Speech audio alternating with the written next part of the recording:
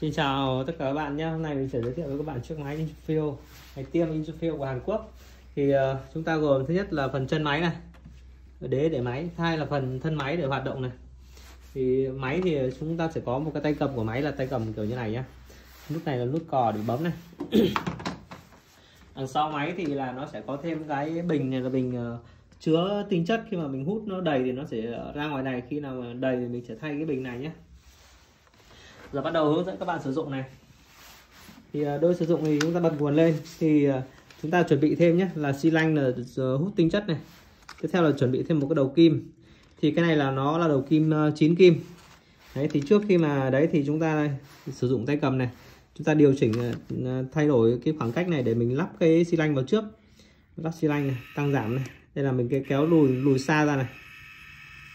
Đấy theo mình xoay cái này rộng ra để mình lắp cái để lắp cái xi lanh này. Trước khi lắp xi lanh thì ờ, chúng ta nên lắp cái đầu kim trước. Lắp đầu kim nhé tháo một cái đầu kim mới ra để test cho các bạn này. Đầu kim nhá. Thì ờ, chúng ta nhìn nhá. Đây là cái đầu kim mình có thể là điều chỉnh được độ nông sâu của đầu kim. Và nó có thể hút chân không lên được hút cái da này lên được. Đấy, bây giờ mình sẽ lắp cái đầu kim vào đây. Lắp đầu kim thì à, chúng ta chú ý nhá ở trên này này. Đấy à, chúng ta nhìn cái mõm của nó này. Ở dưới này cái khớp này là phần hút chân không nhé mình lắp cái này vào nhá. Và hai cái tay của nó mình ấn xuống. Đấy cho hai cái tay này nó bám lên. Khi nào mà mình muốn thay ấy, mình bóp cái khớp này rút ra là được. Các bạn các bạn hiểu chưa? Ok các bạn nhá. sau khi lắp đầu kim xong thì chúng ta đến thao tác lắp xi lanh lắp xi lanh thì chúng ta đưa vào đây. Chúng ta kéo cái này cho nó về về đến cuối cùng. Ấn nút này để kéo cái này cho nó về cuối cùng cho nó xa ra. Đó, sau đó là chúng ta lắp cái xi lanh này lên, đẩy cái xi lanh này này. Xoáy cho nó thật chắc vào trong cái ngàm. Cho cái khắc này, cho nó vào chắc vào đây. Đó, sau đó mình cố định nó lại bằng cách là mình vặn gen này. Gen cố định, ok tiếp theo là mình sẽ chỉnh cái xi lanh này cho cái cái cái giá đỡ này cho nó lên đến xi lanh của mình. Khi nào nó trào tính chất ra là lúc đấy mình thực hiện thao tác được nhé.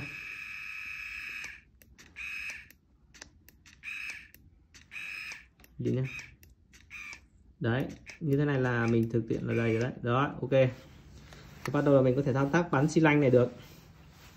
Thì đối với cái xi lanh này á, thì chúng ta có thể điều chỉnh được là một, thứ nhất là mình chọn này cái này là mình chọn cái dung tích uh, xi lanh của mình là xi xi lanh của mình hiện tại đang là ờ, uh, 4 mil. Đấy thì mình chọn là 4 nhé. Đó mình chọn ô 4 cho mình. Ok.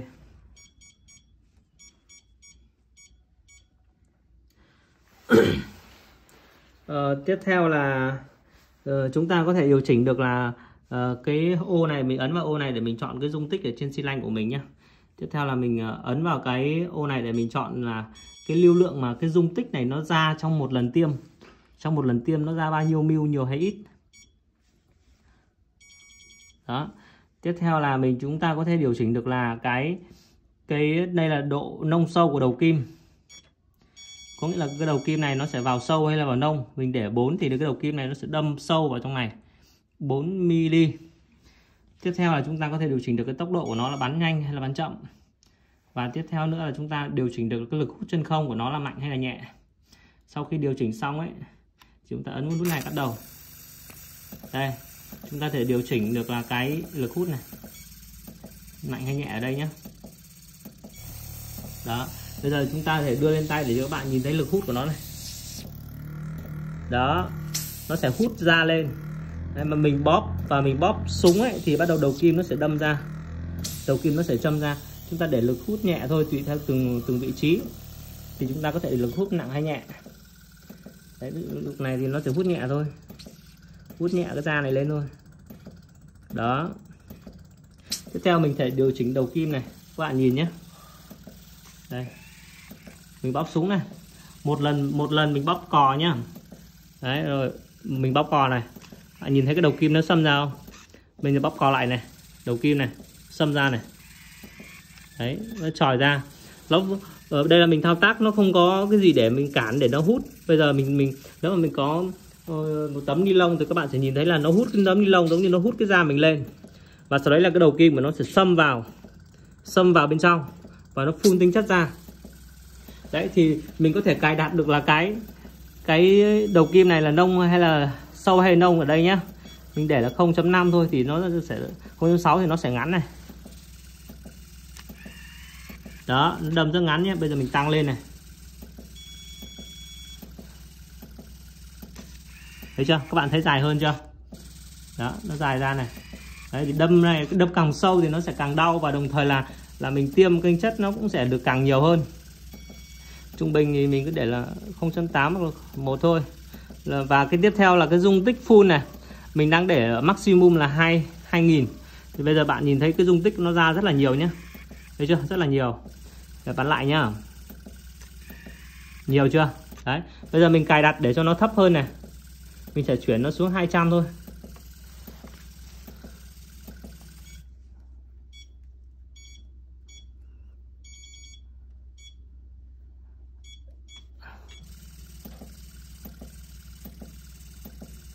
Đấy bây giờ bạn để xuống 12 nha bấm này. Đấy nó chỉ ra một ít thôi. Đấy nó chỉ ra một ít nhỏ giọt thôi. Cái này thì ít quá mình có thể tăng lên một chút nữa. 2200 này 50 này. Mình để mức 50 nhá. Đấy nó chỉ ra một ít vừa phải thôi. Đấy. Đấy. Còn à, uh, 200 thì nó sẽ rất là nhiều. 100 200 150 mình điều chỉnh ở đây.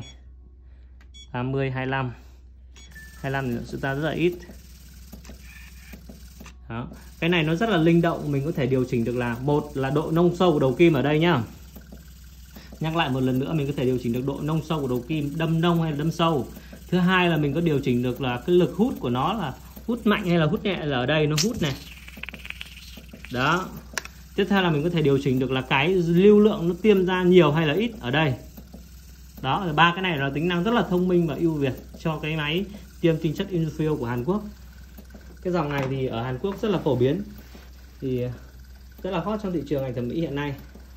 Và vâng, đây thì mình đã giới thiệu sơ qua về cái máy Infill. Rất là cảm ơn các bạn đã theo dõi.